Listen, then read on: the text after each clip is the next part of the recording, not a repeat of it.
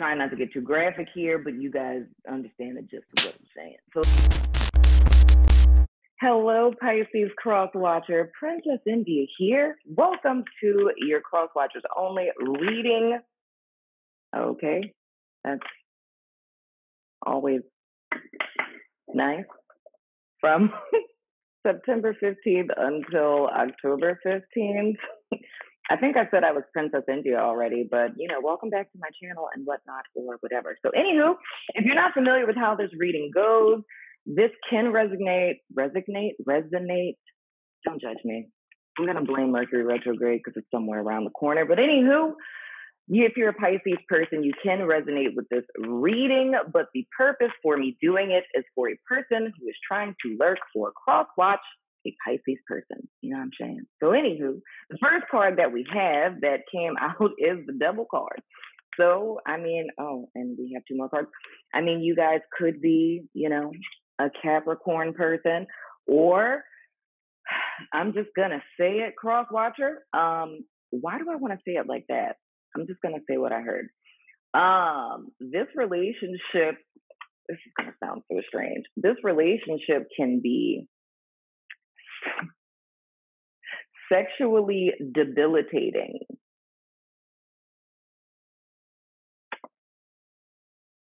I don't, I mean, it's your life. You know what I'm saying? Sexually debilitating.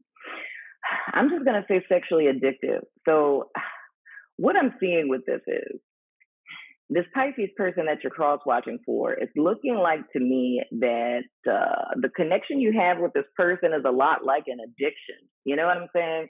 And I feel it probably has a lot to do with the sex you have with the person. Meaning, like, um, I don't know, maybe they're really hot, maybe they're really attractive. It's just something about the uh, sexual chemistry between the two of you. But I would also go as far as to say that the main um, tenet, if you will, of this partnership is very much centralized around the sexual connection. Now, what would that look like?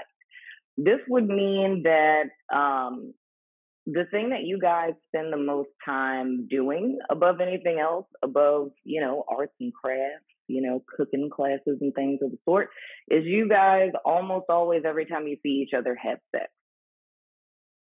But you know, if you don't resonate with that and that's not the situation, this ain't your reading, my friend. You know what I'm saying? Anywho, next card that you have is the Hermit card. Have three major arcana. What is really happening in America? So, anywho, we have the Hermit card and then we have the Chariot. okay, so I feel a sense of distance between you and this person. It's either that they literally, mm, they either literally purposefully stay to themselves, right? Meaning that there's an element of like off and on here with you guys. Um, or it's just an emotional distance. You know what I mean? That that that vibration of that is a little bit maybe 10% of people who are watching this to me.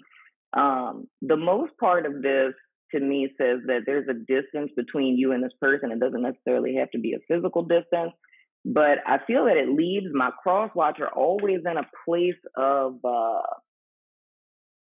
hoping and dreaming. It's like hoping and dreaming of the connection being different than it is at present or it has been up to this point.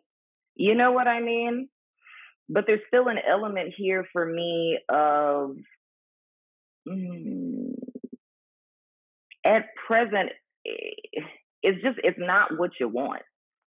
So what you want isn't what you're getting. And it's almost like settling for the sexual connection, if you will, because that's the closest that you could get to the person. So this is getting into like subconscious symbolism and things of the sort. So if you think about physical sex, right? This is about to be a whole psychology lesson. Shout out to Joan. Um, So if you think about physical sex with a person, it's probably the absolute closest you'd ever possibly be to another human being, right? Trying not to get too graphic here, but you guys understand the gist of what I'm saying. So it's pretty much the closest that you can be to another human being. If one truly desires an emotional connection with a person, right? And the person isn't emotionally connected to you, then one would settle for a physical connection because it's the closest that you can get to replicate the emotional connection that you really want. However, with this chariot card, it's more or less telling me that it's like you and this person are on two different pages and you desperately want to mend the bridge between the two of you you know what I'm saying? But I still get this this vibe of like this person just it, it something is just hella incongruent.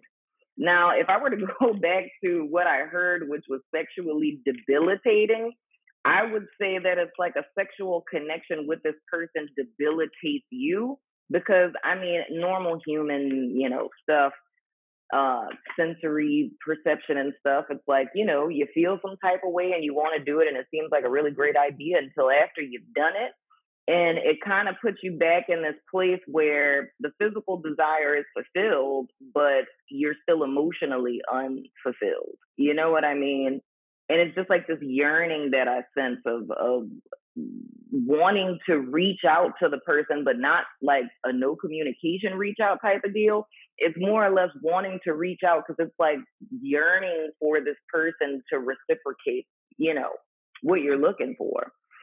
Boy, and then we have the two of pentacles. So legit, it's like, um, dude, I could be so real about this. It's like this two of pentacles to me encapsulates this vibe that I feel. And the reason why I'm slightly concerned about stuff like this is because I'm always concerned about people's mental health, dude. And it's just that constant on the fence back and forth. Like you can't put your feet on the ground, and there's always this uh, lack of sureness. I don't know. We're together. We're not. They love me. They don't. This is a waste of time. No, it's not. It's like that constant back and forth can literally drive a person mad. You know what I'm saying? Because it it it, it stagnates you. So with this falling under the devil card, I understand what sexually debilitating means because it's almost like we're getting into the realm of like soul ties and things of the sort, which is this is really becoming a whole lesson. Um, we're getting into the arena of soul ties and things of the sort because it's like the same thing with a drug addiction, right? If you're addicted to drugs, no drug addict wants to do drugs. Like no person on heroin is like, I I love heroin and like I want to do heroin. It's the fact of like you're doing it to prevent yourself from getting sick. You know what I'm saying? And it's like withdrawal symptoms. Dude, this is so insane. Pisces crosswatcher person. I don't know what your sign is. You could be a Capricorn. You could be a Virgo. You could be a Cancer. You know what I'm saying? Or this person could have that in their chart. But it's like legit, the whole vibe I'm getting with this is like it's almost feeling bound and chained to the person, but it's being bound and chained to instability. And it's being, it's like being in a prison, a proverbial prison. And I feel like I've said this before I don't know if it was in a personal reading or if I said it in, you know, one of the crosswatcher readings. I'm not sure, but it's like I see it as like it, it's a prison. It's a, a prison of not getting what you want and being in a permanent state of of having to dream. It's a desire to move forward and one holding on. Geez, Louise, there's the judgment card. Y'all got four major arcana. Okay. oh my goodness. And this is yeah, I'm just gonna say this. Uh, this is a soul tie that you have with this person. If you don't know what soul ties are, I'm gonna give you a quick little lesson on it. So, if we get into the realm of energy and chakras and you know auric fields and things of the sort, every single person that you have sex with ever, right? It's like you have a soul tie with this person.